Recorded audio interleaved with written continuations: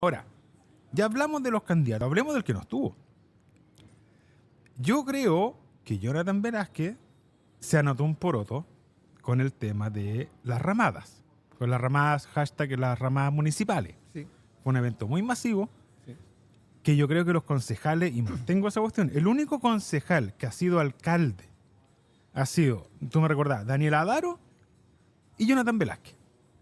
Concejal que ha sido alcalde, o sea, que le funcionó una fórmula mientras era concejal que le permitió pavimentar una carrera para alcalde. Al resto de todo lo que han pasado en este periodo, que serán más de 100, no les funciona.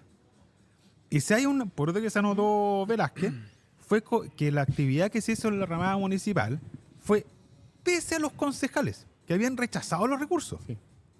Y él logró hacer igual la actividad, incluso después le dieron palo a los concejales, oye, incluso concejales que habían rechazado esta actividad, vinieron a hacer fila para sacarse fotos con los artistas. Yo creo que ese fue un buen cierre. Sí. Velázquez.